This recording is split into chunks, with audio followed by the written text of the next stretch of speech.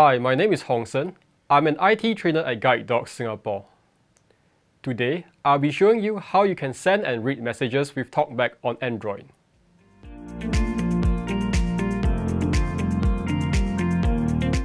Today, we'll be demonstrating on the Google Pixel 6 with the default messaging app. Over here, we have the Messages app open. At the top of the screen, there is a search field where you can search for messages that you have sent or received. Below that, you'll find the main messages list where you can view your message history displayed as message threads of people you have been texting with. At the bottom right corner of the screen, or if you were to use a swipe gesture, you'll find the Start Chat button where you can start a new conversation. Start chat button. Let's now browse through the messages on this phone. Sent to GDA how about 7 p.m. 4 minutes. Sent to Hong Sen work high 17 minutes. Let's take a look at this thread. Sent to GDA how about 7 p.m. 4 minutes. Text message. GDA. Text. Navigate up button. GDA. Make a call. Search.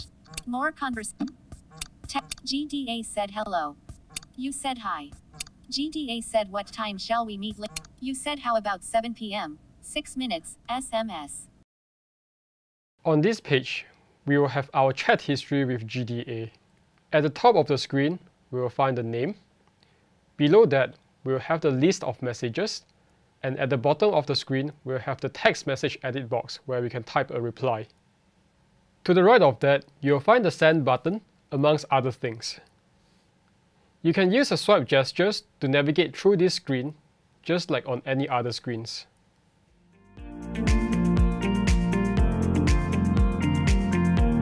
You have now learned how to read messages with TalkBack. To reply, double tap on the edit box at the bottom of the screen. Once done, find the send button to the right of the edit box. For now, I will show you how to send a text message to a new contact instead.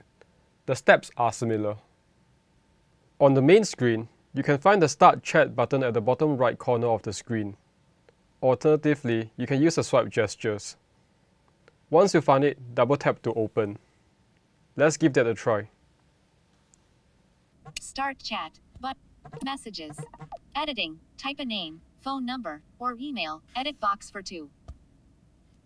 The first edit box allows you to enter the name of a contact or a phone number whom you wish to chat with. I'm going to enter a phone number now. Symbol keep. Close features menu. 7. Se- 6. 4. 3. 2. 2. I've now entered the number. I will now find the Done button at the bottom right corner of the keyboard. Done.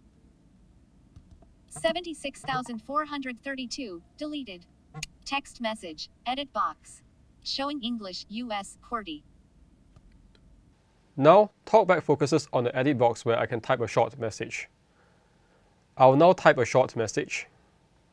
Capital G. With capital E. S. R. Rho E. E, L. L. O. O. To send this message, find the send button to the right of the edit box. Hellos. Editing. Hello. Send SMS. Button. Sending message. Messages. Double tap and hold to long press. And now the message has been sent.